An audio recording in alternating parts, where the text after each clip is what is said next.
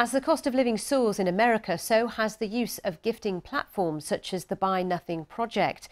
Buy Nothing is one of a number of social media driven schemes to help people give away things they don't need.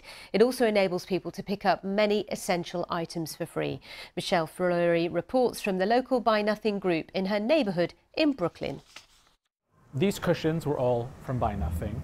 Um, that end table. Yep. Um, this chair. Seven Tavukjian moved into his new apartment last month. I got a book uh, about Gothic cathedrals, which I love, which I was able to sort of scrap and start turning into sort of an art installation piece. When he saw how much it would cost to furnish it, he joined his local Buy Nothing group on Facebook, where people offer unwanted items for free. Being a part of these groups has been incredible because all the basic necessities are there, and then some. He saved a lot. Inflation in the US has soared, and the price of living room, kitchen, and dining room furniture, like Seven hoped to buy, has jumped more than 17%. You got a lot. I did. I, I did get a lot. Huge savings. I think I, when I tried to do some calculations, ended up being like about $2,000 worth of stuff. Full disclosure, I belong to one of those groups where members give things away for free. Maybe, like me, you have tons of stuff that you aren't necessarily using anymore, but that could be useful to somebody else. And with inflation in America at levels not seen in nearly 40 years, these groups are seeing a surge in popularity. The Buy Nothing Project certainly acts as a social safety net for uh, families and for entire communities. The Buy Nothing Project has seen its membership double over the last two years to more than 5.3 million.